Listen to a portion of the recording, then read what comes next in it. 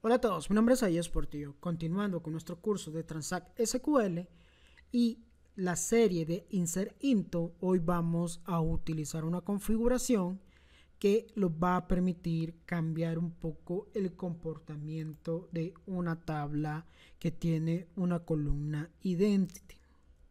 Regresamos a nuestro SQL Server y lo primero que vamos a hacer es reiniciar nuestro ambiente este ambiente como tal tiene la tabla de sailors.órdenes. Y si recordamos, dentro de esta tabla tenía una columna que era el identificador de las órdenes que tenía un valor o una funcionalidad de identity. El identity como tal es una capacidad de SQL Server de poder crear una columna que se genere automáticamente. Es como un default value, pero con un comportamiento incremental. Eso quiere decir que cuando yo tenga el identity, dependiendo la configuración, este se va incrementando de uno en uno.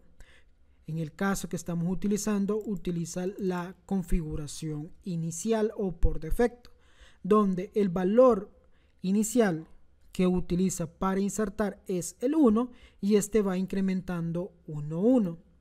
Ahora bien, tenemos esa tabla con esa columna y lo que hace es que en esa tabla siempre se va a insertar implícitamente el valor del orden ID.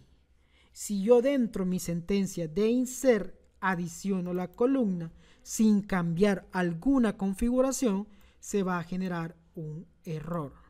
Si ejecutamos, en este caso, este insert, donde yo tengo el orden ID con 999, él me dice que estoy intentando insertar un valor explícito. Y que en este momento yo no lo puedo hacer porque yo tengo el identity insert en off. Si yo quiero habilitar la capacidad de meter ese valor explícitamente tengo que cambiar esa bandera de off a on. ¿Cómo lo hago? Utilizo la cláusula set, la funcionalidad, la tabla, la que quiero afectar y el valor que quiero encender o apagar.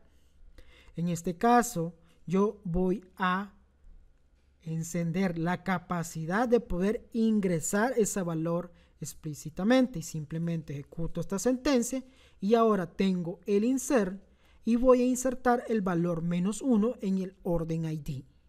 Si ejecuto la sentencia, no debería fallar. En este caso, veamos y hagamos la consulta de la tabla y los valores que existen. En este caso, inserté el valor menos 1, podría insertar el valor menos 2, y así sucesivamente yo voy definiendo qué valor obtener en el orden ID. ¿Por qué utilizar esto? Posiblemente puede ser que necesitamos definir valores dummies o valores por defectos donde yo no logré identificar la orden y este lo pongo con un valor negativo para poder llevar un control.